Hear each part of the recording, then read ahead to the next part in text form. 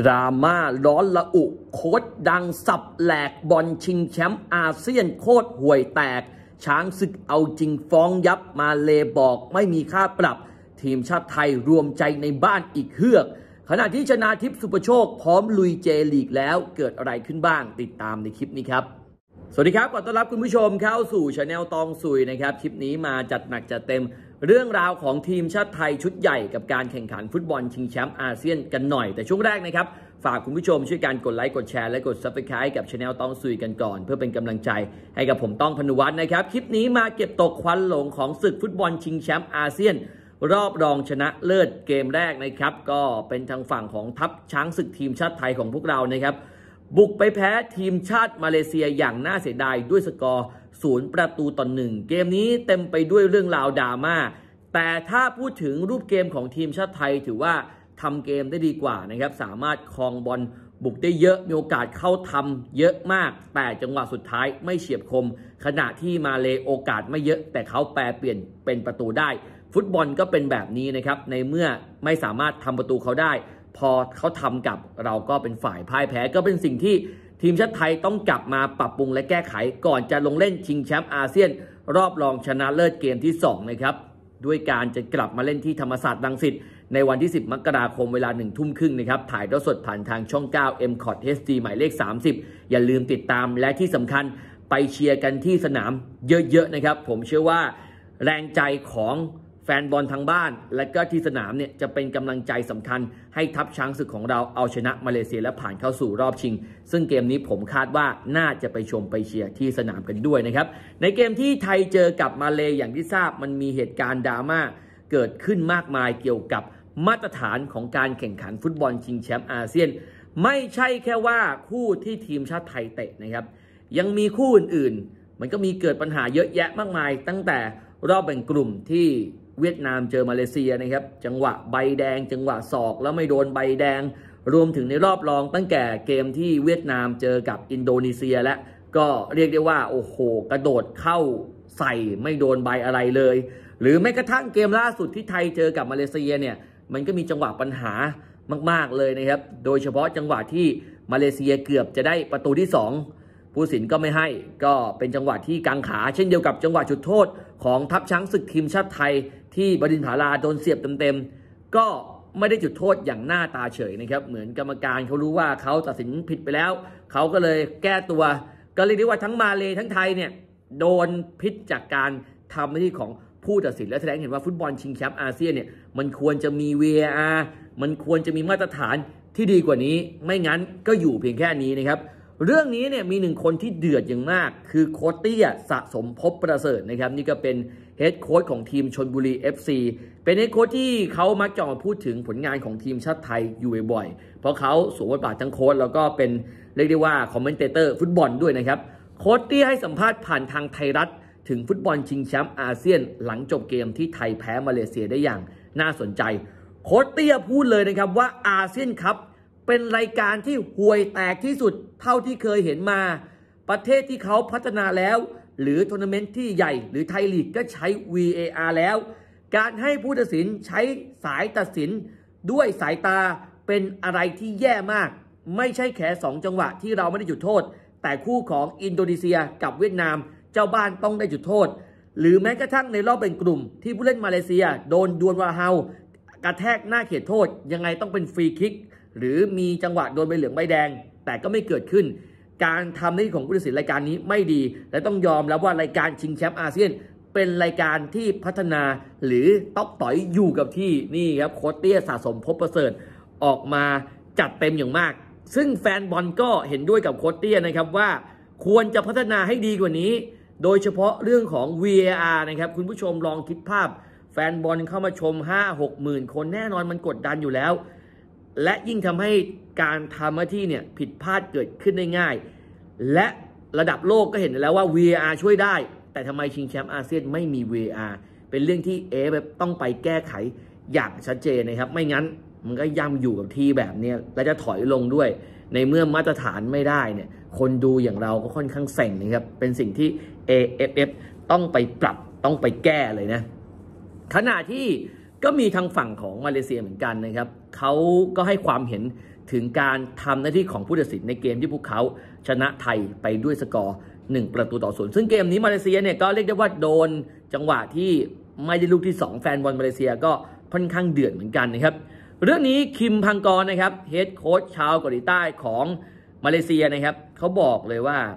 เขาเนี่ยไม่เห็นเหตุการณ์ที่เกิดขึ้นอย่างชัดเจนเขาจึงพูดอะไรไม่ได้ และเขาจะไม่วิจารณ์คำตัดสินของกรรมการ เพราะเขาไม่มีเงินจ่ายค่าปรับ เขาชื่นชมว่านักเตะมาเลเซียทำได้ดีแฟนบอลมาเลเซียควรจะภูมิใจกับชัยชนะในเกมนี้นะครับ อันนี้เป็นทางฝั่งของคิมพันกรเฮดโค้ชของมาเลเซียนะครับ แล้วก็ในเกมนี้เนี่ยมันมีอีกหนึ่งจังหวะที่คุณผู้ชมตกเป็นที่พูดถึงอย่างมาก พี่โยงพันสายเห็นพิบูลนะครับ หลังจากที่โดนกระแทกแล้วก็ต้องบอกว่ามีอาการบาดเจ็บ แล้วก็ลุกขึ้นมาเล่นต่อ ปรากฏว่ามีแฟนบอลมาเลเซียนะครับเรียกได้ว่าแสดงพฤติกรรมที่ไม่เหมาะสม เอาเลเซอร์ไปยิงใส่หน้าของพี่โย่งพรรษา ซึ่งมันไม่ใช่การกระทำที่ดีนะครับ ระดับโลกเนี่ยจำได้เลยนะครับอียิปต์เจอเซเนกัลโมซาลาโดนแฟนเซเนกัลเรียกได้ว่ายิงเลเซอร์ใส่ขึ้นมา ก็โดนปรับห้ามเล่นในบ้านและปรับเป็นหลักล้าน FF ก็ต้องมาพูดถึงเรื่องนี้ เพราะไม่อยากให้มันเกิดขึ้นอีก ก็ต้องมีการลงโทษนะครับ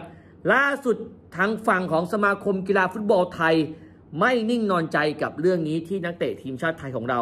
โดนเลเซอร์ จากแฟนบอลมาเลเซียยิงใส่ เตรียมเดินหน้าฟ้องเลยนะครับ เขาบอกว่า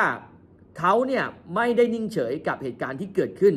ตอนนี้ได้ทำการรวบรวมหลักฐานส่งให้ทางผู้ควบคุมการแข่งขัน เขียนรายงานไปยัง AFF เพื่อหาผู้กระทำผิดมาลงโทษ และปรับเงินตามระเบียบนะครับ เรื่องนี้เป็นคุณโจพาทิตสุวพงศ์ออกมาเปิดเผยนะครับ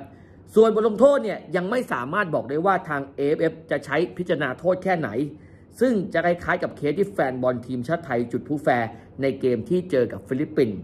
ซึ่งก็น่าจะมีการพิจารณาบทลงโทษ แต่ทางสมาคมไม่นิ่งนอนใจ ส่งเรื่องไปเรียบร้อย ก็หวังว่าจะมีการลงโทษ เพราะว่าการทำแบบนี้มันส่งผลเสียต่อนักฟุตบอลในเรื่องของความปลอดภัย สมาคมกีฬาฟุตบอลไทยไม่เห็นด้วยนะครับ ก็เลยออกมาเรียบร้อย ก็รอดูว่า FF จะมีบทบาทอะไร แต่ผมบอกเลยนะครับ ต้องมีบทลงโทษให้หมด มันจะได้มาตรฐานที่ดีขึ้น ถ้าปล่อยปะละเลย ฟุตบอลอาเซียนมันก็เป็นแบบนี้มันก็ไม่พัฒนาสักทีนะครับ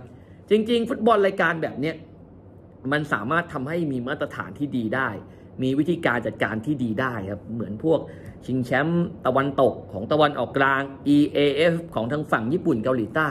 เขาก็ทำให้มันดีได้ แต่ AFF เนี่ยโอ้โหต้องทำให้มันดีกว่าเดิม ไม่ใช่จะเอาแต่งเงินอย่างเดียวนะในมุมมองผม ต้องปรับต้องแก้เลย ไม่งั้นเนี่ยผมบอกเลยรายการนี้มันจะหมดความขังแล้วก็หมดความศักดิ์สิทธิ์เลยนะครับอะเพราะฉะนั้นก็รอดูกันว่า AFF จะมีท่าทียังไงนะอะก็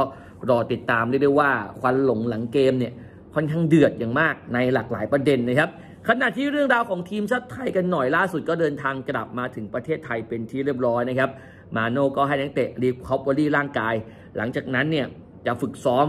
แก้ไขปัญหาข้อผิดพลาด คือเรื่องของจังหวะจบสกอร์ เดี๋ยวจะกลับเล่นในบ้านในวันที่ 10 มกราคม ซึ่งก็เดี๋ยวจะแข่งและในวันอังคารนี้ มาโน่ก็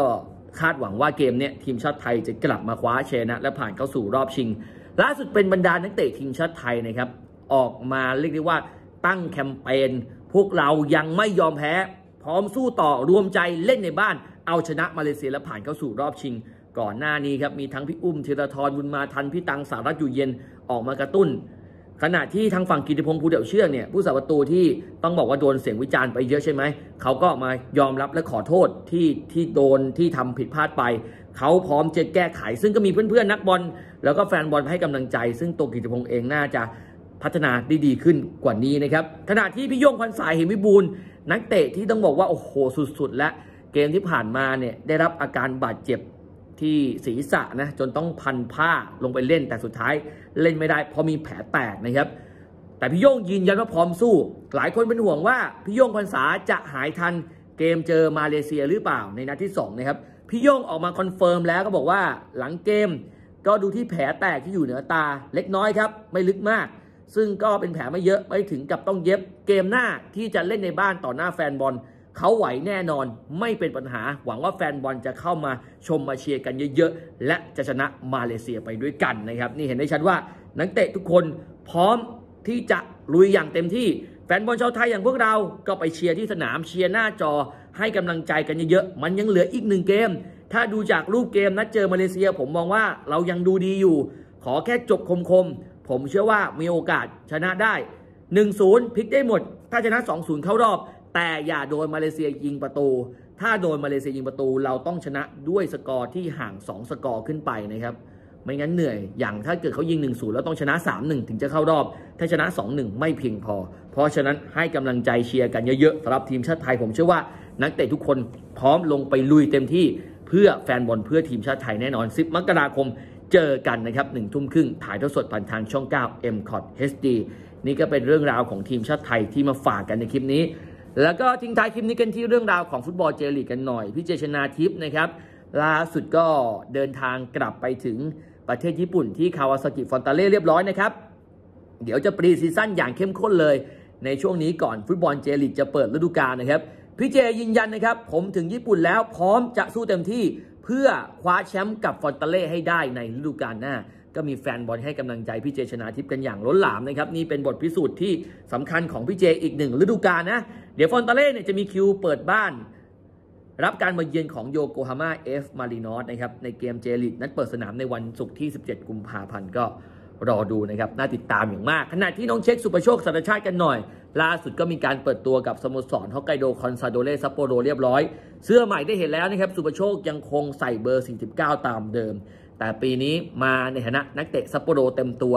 สู้สนุกแน่นอนนะครับ เดี๋ยวสุประโชคเนี่ยเขาจะเดินทางไปเก็บตัวที่โอกินาวาต่อด้วยคุมาโมโตะเพื่อลุ้นลงเล่นฟุตบอลเจลีกเป็นตัวจริงเกมแรกเลยนะครับ ส่วนเสื้อของซัปโปโรปีนี้สวยนะ ชุดเย้ายังคงเป็นสีแดงดำเหมือนเดิมนะครับ ราคาก็ยังคงโหดเหมือนเดิมครับ ตัวละ